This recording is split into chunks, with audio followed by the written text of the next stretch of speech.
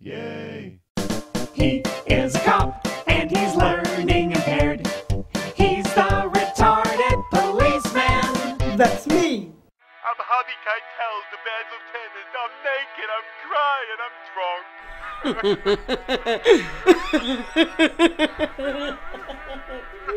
Let's get you ready for work, dear. Hot dog. Power trip time.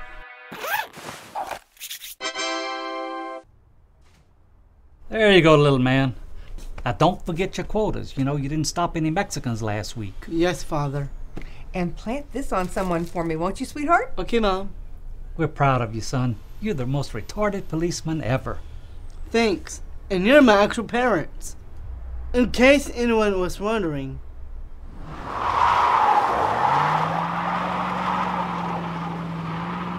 A Prius!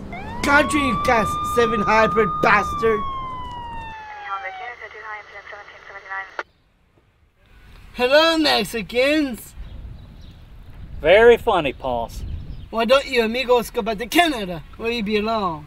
Honey, we're not Mexicans. We're your parents. A likely story. Only a true Mexican can make up such lies.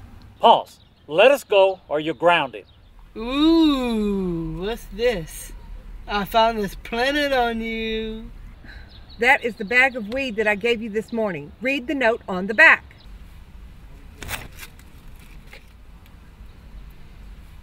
Oh, fiddlesticks. Son, language. Sorry, Dad.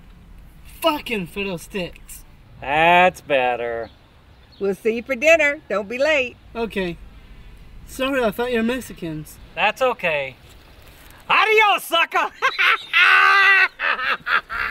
I'll get you, you parasol son of a bitch!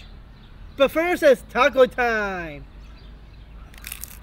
He is a